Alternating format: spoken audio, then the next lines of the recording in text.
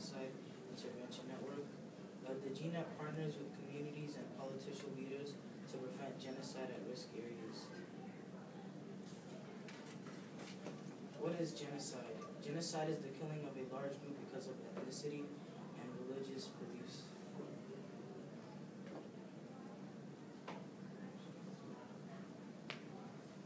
The Genocide Intervention Network began after the event of the Darfur Genocide and was founded in October 2004.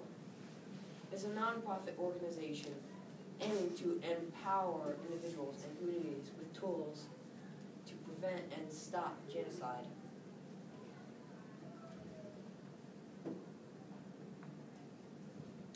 Genocide intervention supports people in places all across the globe, such as civilians in Yemen and the abandoned Syrian victims.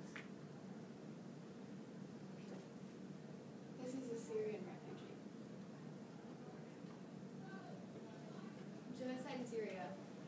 The crisis in Syria began in 2011 when Bashar al-Assad used tanks, attack helicopters, and artillery against protesters. Since March 2011, over 220,000 people have died, and 2,000 plus barrel bombs have been dropped on civilians. One in six Syrians have left the country. These are Syrians fleeing the country. Uh, genocide in Sudan. Those under the command of President Omar al-Bashir have attacked civilians. They have left 300,000 dead. 2,000 bombs have been dropped on civilians. 3 million people have been displaced from their homes. Is a family that struggled from the genocide. Genocide in Darfur. On March 4th, 2009, Sudanese Omar al-Bashir became the first president of Darfur, in Darfur. He directed a campaign of mass killing, rape, and pillage against civilians. Over 400 villages were completely destroyed, and millions of civilians were forced to flee their homes.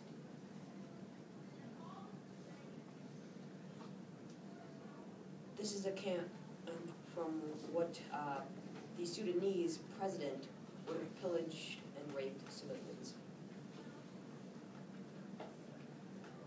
Funding. The funding for the Genocide Intervention Network is sixteen percent administration, twelve percent fundraising, and seventy-two percent program.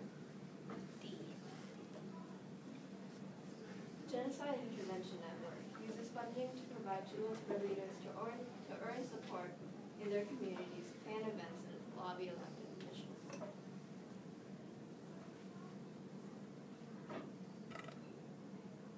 We're excited.